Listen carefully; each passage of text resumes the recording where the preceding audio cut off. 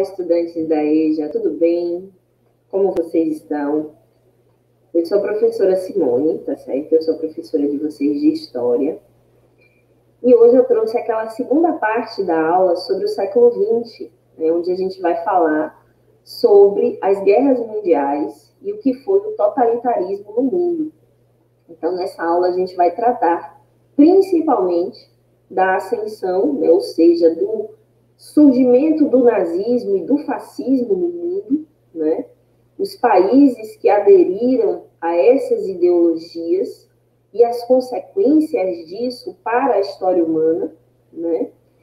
E isso também, né, a ascensão desses regimes, nazismo, fascismo, que é o que a gente chama de regime totalitário, provocou a Segunda Grande Guerra Mundial né, de 1939 a 1945, o mundo viveu novamente um conflito armado nessa proporção né, de envolver vários países e novamente essa guerra aconteceu dentro do território europeu. Mas sempre é bom chamar a atenção do porquê guerra mundial, né, porque envolve várias nações, europeias e não europeias. Eu trouxe esse gráfico né, para falar um pouco para vocês do contexto. Né? Entre a Primeira Guerra e a Segunda Grande Guerra, alguns fatos históricos são marcantes. Né? Entre a Primeira Guerra Mundial e a Segunda Guerra Mundial, a gente chama de período entre guerras, né? facilitar o estudo, então por isso ele é denominado dessa forma.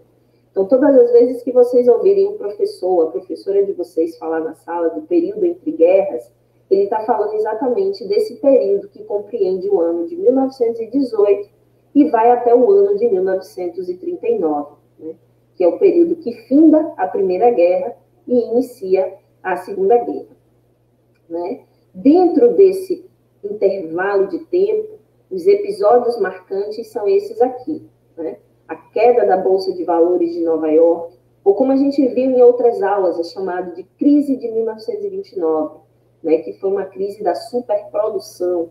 Né? Os Estados Unidos estava em crescente produção econômica e acabou não controlando essa produção e essa falta de controle levou uma grave crise econômica que afetou diversos países do mundo, inclusive o Brasil, né? Então isso provocou uma grande depressão. A Alemanha havia saído derrotada da Primeira Grande Guerra Mundial né? E durante a assinatura do Tratado de Versalhes, que colocava fim à Primeira Grande Guerra, a Alemanha foi obrigada a pagar uma indenização aos países vencedores. Isso levou a Alemanha para uma crise de hiperinflação. Né? Então, gerou uma pobreza muito grande no território alemão. Né? É... Além disso, houve a ascensão, né, o surgimento de um país socialista. Lembram da Rússia? Em 1917, ela abandonou a Primeira Grande Guerra para fazer uma revolução. Né? Era um país, um império, na verdade, que passava por uma crise social e os russos optaram, então, por se tornar uma nação socialista. E nos primeiros momentos, né? Houve um forte crescimento, um forte desenvolvimento, e que parecia que isso era a solução né, para os problemas que a Primeira Grande Guerra causou, sobretudo às nações europeias. Né? Mas, também, do outro lado, e até para combater esse socialismo que ganhou essa notoriedade na história é, mundial nesse período, surgiram também o que a gente chama de regimes totalitários, né, que é o nazismo e o fascismo. Esses regimes, eles têm a ver com a ideia de culto ao líder, né, o sentimento de revanche, principalmente dos alemães, né, que foram obrigados a pagar uma indenização aos países vencedores do primeiro conflito, né, tem a ver com o crescimento do socialismo no mundo, e o medo da burguesia que outros países que passavam por conflitos sociais fizessem uma revolução como os russos fizeram. Então, é uma série de fatores que faz com que surja o totalitarismo no mundo. E aí eu trouxe esse vídeo curtinho explicando para vocês o que é um regime totalitário. Vamos conhecer?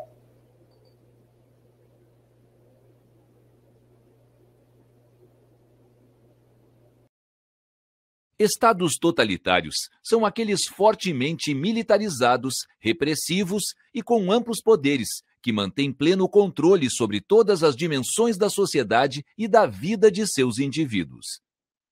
Esses estados, presentes em diferentes tempos da história, marcaram o cenário político mundial nas primeiras décadas do século XX, trazendo inúmeras consequências, entre elas a Segunda Guerra Mundial. Entre as principais características desses estados totalitários encontra-se o autoritarismo, com a concentração de poderes na figura de um líder supremo, representante dos interesses de um reduzido grupo político, que organiza o Estado para impor seus projetos, eliminando opositores e toda forma de crítica. Esse líder é amplamente aceito pela maior parte da população, a figura do líder parece personificar os anseios da sociedade, reforçando a manifestação dos comportamentos coletivos autoritários. Para essa aceitação, é essencial a intensa divulgação de propagandas que utilizam os meios de comunicação de massa. Dessa forma, é difundida a ideologia do regime e conquistados a aceitação e o apoio da população. Na Alemanha nazista, durante os anos de 1933 e 1945, por exemplo, inúmeros cartazes difundiam os valores, as instituições e os programas vinculados ao regime. O cinema, por sua vez, serviu para difundir e promover a ideia de um Estado coeso, poderoso e acima de qualquer indivíduo. Os regimes totalitários europeus, como o fascismo na Itália e o nazismo na Alemanha, mobilizaram a população prometendo um destino glorioso. Os atos do presente eram assim justificados como prelúdio para o futuro desejado.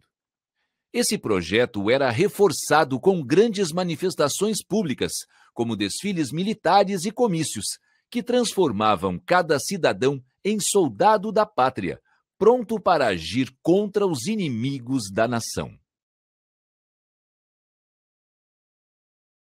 Então, como vocês podem ver, né, a ideia do totalitarismo é como o próprio nome diz, né, é ter o controle de todas as pessoas daquela nação onde esse regime surge, né?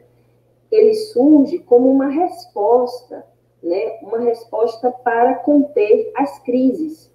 É como se fosse algo salvador. Né?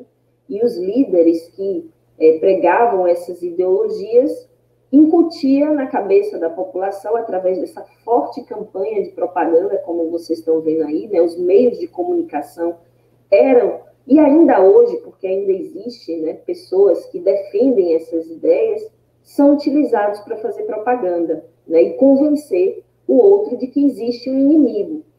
No caso da Alemanha nazista, convenceram que o inimigo eram os judeus, né, e por isso eles foram perseguidos e colocados em campos de concentração e assassinados em muitos casos. Na atualidade, em alguns países onde o totalitarismo vem ressurgindo, é, é chamado dos comunistas. Né? Os comunistas também são tidos como é, inimigos do povo inimigos da nação e que por isso devem ser combatidos. É o que defende os é, defensores dessas ideologias. Mas no caso aqui é, da Alemanha nazista e da Itália fascista, algumas características a gente precisa reforçar. Primeiro, a ideia de nacionalismo extremado, xenofóbico mesmo, sabe? De ódio ao estrangeiro. Tudo que não é do meu país não serve, né? Então, há essa coisa né, de. É, um, um dos lemas do nazismo era a Alemanha acima de tudo. Né? Então, é, também tinha uma forte ligação com a religião, né? Então, é, era essa coisa de defender, é, um dos lemas também foi esse, da questão religiosa com as tradições mais conservadoras de uma sociedade, né? O militarismo, e o totalitarismo, como a gente já viu aqui, que é essa coisa de estar presente em todos os setores da vida de uma sociedade. O anticomunismo, né, a perseguição aos comunistas, a perseguição também, né, o antiliberalismo, a ideia e a defesa de um único partido, né, que no caso da Alemanha era o Partido Nazista e no caso da Itália o Partido Fascista. Só podiam ter esses dois. E um culto ao líder, né? O líder deve ser seguido e não deve nunca ser questionado. Qualquer semelhança com o presente não é coincidência. É uma experiência histórica que já foi aplicada em outro território, não deu muito certo, mas ainda tem pessoas que são defensoras dessas ideias na atualidade. Uma forte propaganda de governo, né, os regimes totalitários faziam uso dos meios de comunicação. Nessa época aqui, né, década de 30, de 40 e 50, a gente tem o cinema, o rádio, e na década de 50 começa a surgir a televisão. Então, esses três meios de comunicação vão ser usados para fazer propaganda desse governo uma educação dirigida, né? É, a ideia era transformar todo cidadão num soldado a serviço da pátria. No regime fascista tem o corporativismo, né? Tudo está ligado ao governo. No regime nazista, o, racismo é muito forte por conta dessa perseguição que houve aos judeus, né? E a ideia de expansionismo territorial é uma herança ainda do imperialismo que a gente viu em outras aulas. Então, essas são algumas características, né, as mais marcantes do que é um regime totalitarista. Na década de 30, né, 1930, o Mussolini foi é, tornado Duce da Itália, né, uma espécie de defensor, e o Hitler chegou ao cargo de Reich na Alemanha. Né? Então, passaram a ser, então, os governantes dessas nações e os líderes dessas ideias totalitárias. Mas eles não foram os únicos, não, hein? Trouxe aqui para vocês é, o Franco, da Espanha, que defendia essas ideias. O Salazar, em Portugal, também podem ser chamados de líderes autoritários ou líderes totalitários. Aqui está o Mussolini, né, que foi chamado de Duce na Itália, e o Hitler, que já é mais conhecido na história da Segunda Guerra Mundial, por exemplo. Mas a gente também tem personalidades na nossa história brasileira que não podem ser chamados de nazistas ou de fascistas, mas que são simpatizantes dessa ideia, como era o caso de Getúlio Vargas, que governava o Brasil nesse período, né, de 1930 a 1945, e tinha também como pauta alguma dessas ideias. E vários outros líderes também, né, que, de alguma maneira, na Europa, em outras nacionalidades, seguiam essas ideias.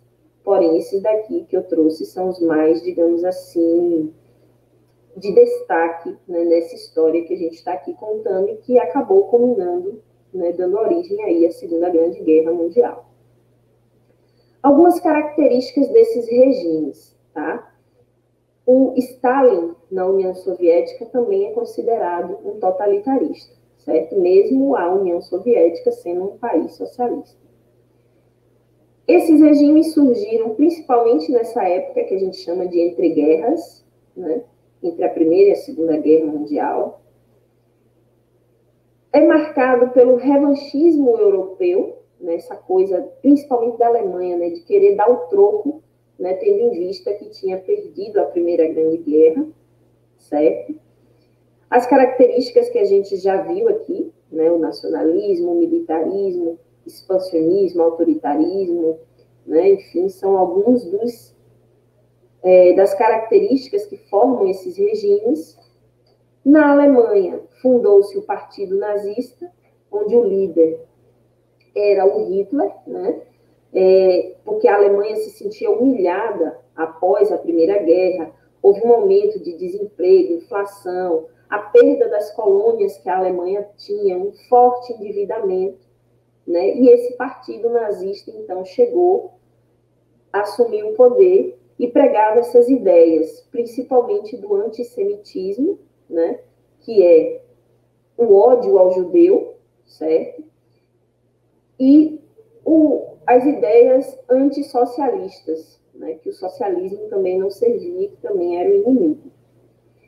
Consideravam-se né, como uma raça pura, né, portanto, arianos.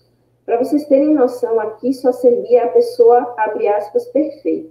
Se a pessoa tivesse uma deficiência física, também não servia para essa sociedade. Né? Era considerado como um atraso. Então, por isso havia muito racismo, muito preconceito nessa sociedade alemã desse período. Como a gente viu, uma educação, uma propaganda com forte cunho ideológico, de divulgação mesmo dessas ideias, de convencimento da população de que isso era o melhor para a nação.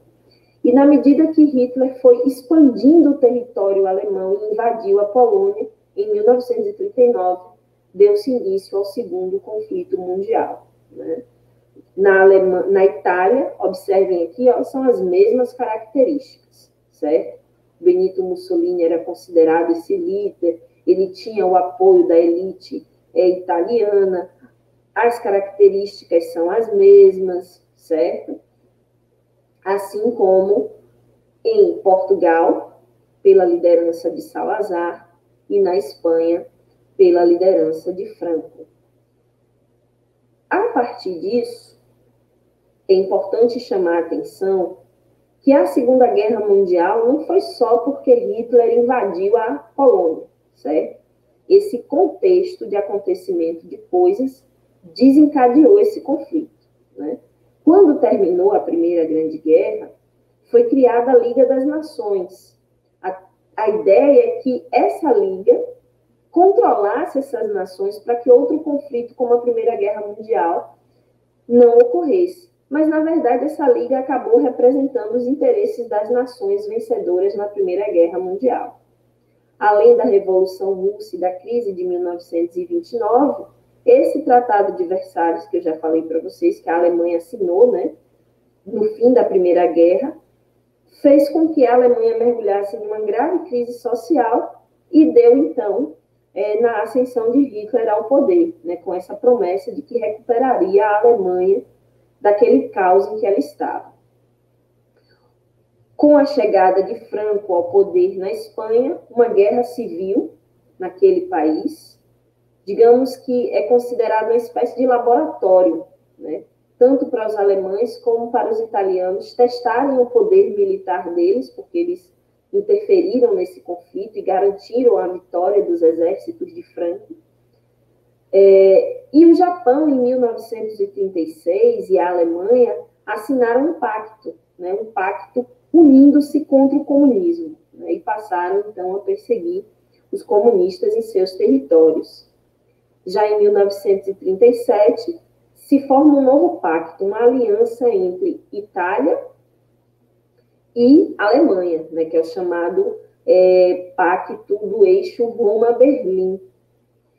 E Hitler também assina um pacto com a União Soviética de não agressão. Então, observe que, novamente, as nações europeias começam a arrumar né, as peças desse jogo, nesse tabuleiro, que acabou dando origem à Segunda Grande Guerra Mundial. E aí, quando os exércitos de Hitler invadiram a Polônia no dia 1 de setembro de 1939, foi considerado isso, né, um, digamos assim, um estopim, né, o início, então, de um novo conflito. E assim, então, inicia a Segunda Grande Guerra Mundial. Né? Ainda pensando esse contexto né, do início e de como o conflito armado chegou, no Oriente, o Japão invade a Manchúria, que é um território da China, né, para transformar aquele território numa área de influência. A Itália invade a Etiópia e a Albânia. O Edson Gomes, aquele cantor de reggae, inclusive fez uma canção sobre o que foi essa invasão do exército de Mussolini na Etiópia, né? E aí ele diz, né, quando Mussolini invadiu a Etiópia, o rolo compressor foi brutal né, porque assassinou vários etíopes nesse processo de ocupação do exército fascista no território africano. Né? Em 1936, a Alemanha então começou a violar o Tratado de Versalhes e invadir outros territórios, né? sobretudo territórios que estão entre a França e a Inglaterra. Então, os franceses e os ingleses já começaram a achar isso uma afronta. Em 1938, Hitler anexou a Áustria à Alemanha e invadiu Sudetos também. E aí, observe, né, como é, as outras nações consideravam essas atitudes do Hitler uma afronta, né, uma afronta àquilo que ficou acordado no Tratado de Versalhes com o final da Primeira Grande Guerra Mundial. Formaram-se novamente dois eixos, né, duas alianças. De um lado, a gente tem Alemanha, Itália e Japão, e do outro lado, a gente tem Inglaterra e França nesse início do conflito certo? Os alemães também invadiram a Dinamarca, a Holanda, a Bélgica, a Noruega, a França, né? usando uma tática que eles chamavam de guerra relâmpago ou guerra rápida, né? exatamente para ocupar o território. Após essas conquistas, principalmente né, em 1940, Hitler vai ordenar que a capital inglesa seja bombardeada. Né? Os ingleses vão resistir a esse bombardeio. Hitler vai desistir de tentar tomar a Inglaterra, mas os exércitos é, alemães continuam avançando sobre outros territórios do Oriente. Então, a ideia aqui dos alemães nesse momento é conquistar o máximo de territórios na Europa possível. Enquanto isso, no Oriente, né, o Japão vai se apoderar da Indochina, no norte da China. Os Estados Unidos não vão reconhecer estes domínios japoneses e vão estabelecer sanções econômicas, ou seja, proibições, para que outros países não façam negócios, não façam comércios com o Japão. E aí, em dezembro de 1941, o Japão responde a esses embargos atacando a base militar de Pearl Harbor, no Havaí, né, no Havaí, e os Estados Unidos vai considerar isso uma declaração de guerra. E aí vai entrar também no conflito de maneira armada. Né? Então, é esse movimento dos japoneses que vão trazer os Estados Unidos para dentro do conflito da Segunda Grande Guerra Mundial. Ao entrar nesse conflito, né, é, os Estados Unidos vão entrar do lado das chamadas forças aliadas, Lembra daquele primeiro arranjo né, dos países que se organizaram e que estavam em conflito nesse período? Pois é. De um lado, a gente ainda vai ter o eixo. Né? Em alguns lugares, vocês vão ver assim, alguém falando, é o eixo do mal. Né? É Alemanha, Itália e Japão. E do outro lado, você tem os aliados. A Inglaterra, a França, os Estados Unidos e a União Soviética. Observem que são os mesmos é, blocos da Primeira Guerra Mundial, certo? São os mesmos países que estão à frente desse conflito, ainda motivados pelo avanço do imperialismo, ou seja, por conquistar e dominar mercados e áreas de influência fora dos seus territórios. Né?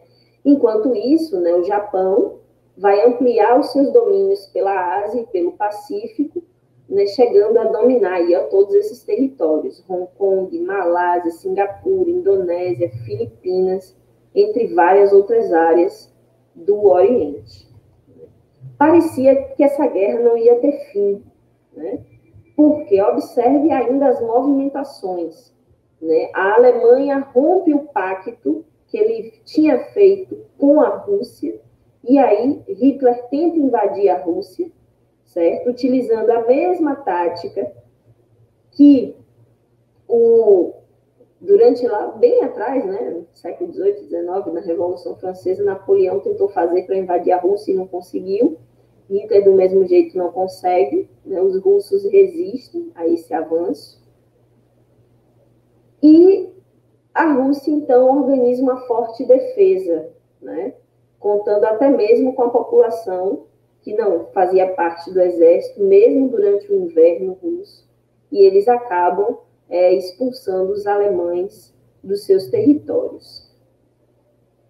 Qual é a tática aqui? A tática dos alemães é que eles iam partir para o norte e chegar até Leningrado, ocupando a Ucrânia e depois atacando Moscou, a capital. Do outro lado, a tática era é, quando o exército alemão tomou a cidade, os russos fecharam o cerco, provocou então uma falta de alimento e de munição para os nazistas. Né? E isso fez com que os alemães não tivessem vitórias no território russo. E começa a se articular, a partir de 1946, perdão, de 1943, o golpe decisivo para pôr fim a esse conflito. Observe que é um conflito maior do que a Primeira Guerra Mundial. Né? A Segunda Guerra começa em 1939 e vai até 1945, são cinco anos. Em 1943 começam as alianças dos aliados para esse dia D, né? que seria o dia de ocupar uma posição estratégica para vencer os exércitos alemães. Então, com a derrota do exército alemão no território russo, os ingleses, os estadunidenses, começaram a investir na reconquista da França, porque a França também foi tomada por Hitler, né? foi ocupada pelo exército alemão.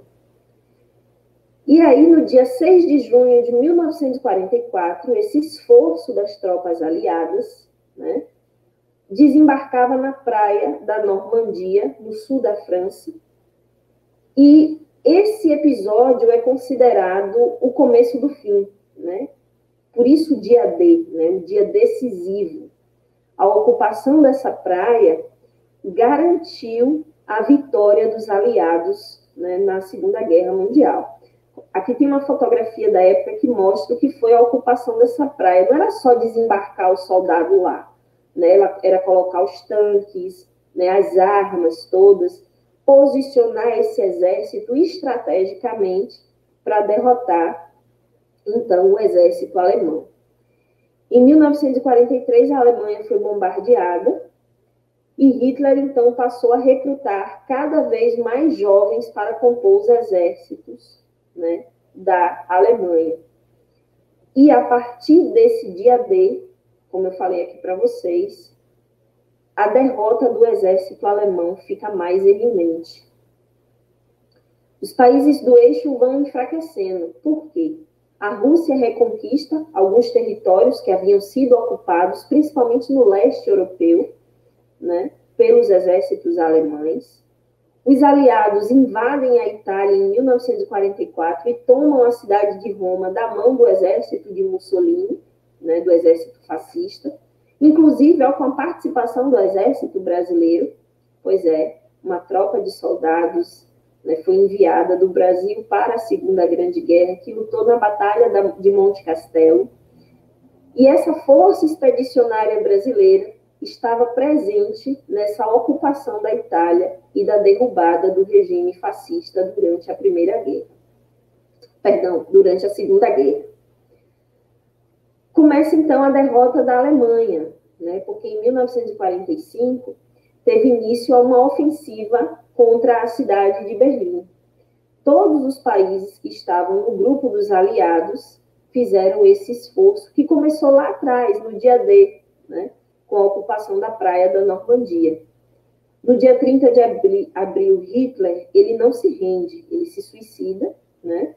Ao saber que as tropas aliadas estavam nas ruas de Berlim, que, portanto, seu exército havia sido vendido, e no dia 8 de maio de 1945, a cidade de Berlim é completamente tomada pelos exércitos aliados, marcando assim o fim da Primeira Grande Guerra Mundial dentro da Europa.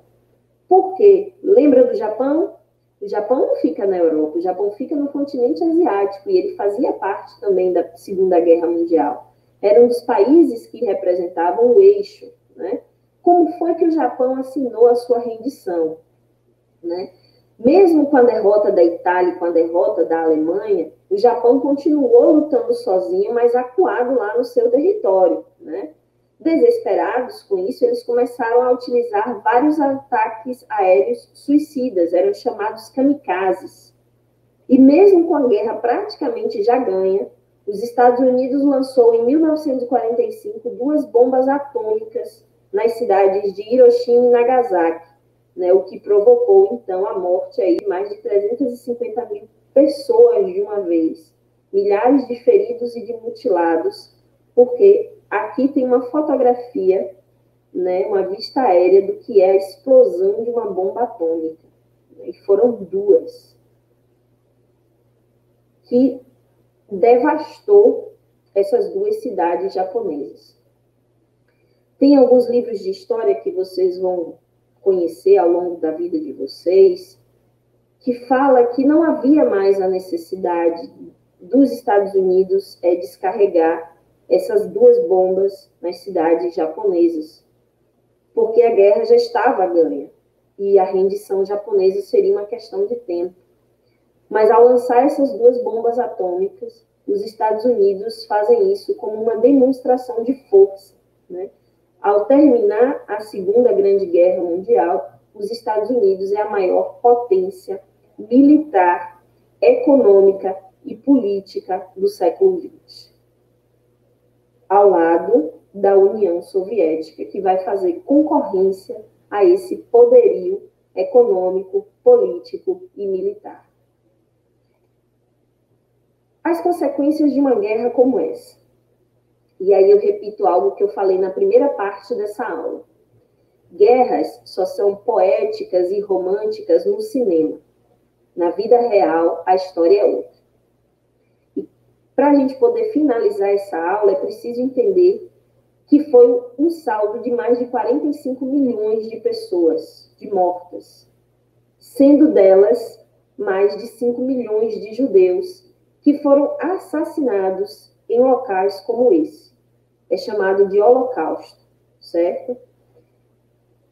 Os campos de concentração eram locais onde essas pessoas viviam confinadas. Trens como esses eram chamados de trens da morte. As pessoas que eram colocadas nesses trens eram é, assassinados em câmaras de gás. Então, guerra, gente, só tem poesia e beleza no cinema. E por isso eu sugiro que vocês conversem com seus professores para entender como foi a participação do Brasil nessa guerra, ou quem sabe até conhecer um pouco mais do que foi esse holocausto. A nossa aula fica por aqui. Bons estudos e até uma próxima.